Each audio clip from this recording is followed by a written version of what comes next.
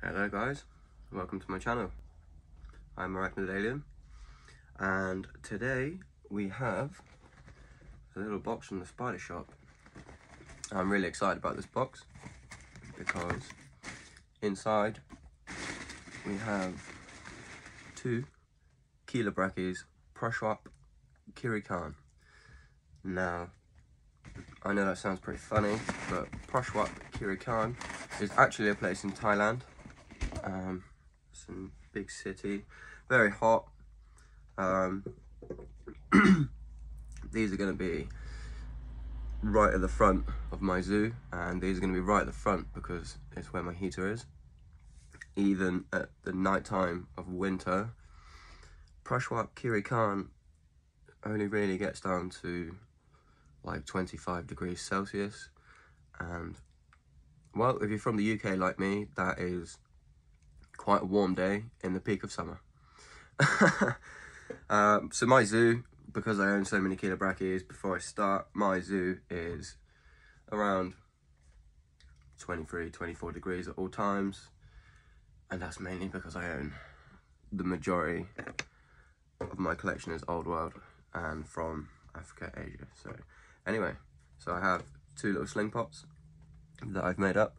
Now, these are pretty full with substrate, so I've used cocoa fibre, and I've actually used um, tortoise substrate, and I like to wetten that a little bit and mix it with cocoa because it adds like um, a clay effect and goes hard after a while. And old worlds tend to love that because in the wild, these guys will dig feet, literally. These guys will dig so far. So their chances of living in the wild are actually really slim. So um, Anyways, these are not very often seen in the UK hobby. The Prachuap Khiri Khan, quite often we'll see the Kaeng Krachan, which is also extremely beautiful. But the magic with these guys is that the males, for some bizarre reason, um, they're really, really small. I haven't raised any of these myself, but I know people that have. So, um, yes, yeah, the males are really small and the females are pretty much like the Kaeng Krachan. They're sort of 14, 15 centimeters. So yeah, I'm really looking forward to that. I'm really hoping I've got one of each and not two of two of one because that would quite suck. Um, but anyway, so this is filled up three quarters with cocoa substrate and tortoise substrate. I've mixed that all together, wetted it a little bit.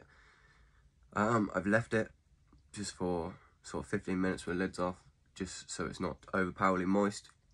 I've put a few holes in the top, which is all it really needs. You know, I feed my guys and water them once a week, and I'll make sure when you take the lid off, usually that gives them enough oxygen if they're needing it or whatever. Um, you know, they don't take in much oxygen. So, let's go. Tools are ready. Now, I like that the spider shop use these little pots for whatever. Um, because usually I buy in bulk as a lot of you are aware and you know when you get them in vials you can bosh through vials but vials are wicked. Vials are quite a pain. Uh, but these sling pots I like to keep them and as you can see I reuse them onto the next. So one little Prushup Kirikan.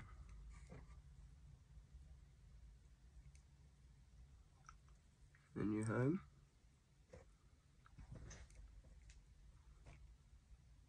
You can really see little cutie. Watch your toes. So that's one. Tissue is still nice and moist, which is great. the other one. I don't really tend to um, put try and squeeze water dishes or anything in here whilst they're this small. Just a little um, pipette. I just squeeze a little bit of water down the side or with these guys web. You know, these guys are super insane with their web from very young. So, you know, usually for webbings, webbers, we just, oh, we've got a little fret pose. Brilliant. Well, this one's not as chill as the last one. And we've also got some pretty sporadic webbing in the little tissue here, so... And this one's a little bit bigger. So, I'm not going to show you guys this one because it's on a bit of a rampage and I don't want to lose it. so, there we go. Two new Chilobrachys Proshwap Kirikan added to Arachnid Alien Zoo. Thank you, Spider Shop. I'm very excited for these. Um, and thank you for watching.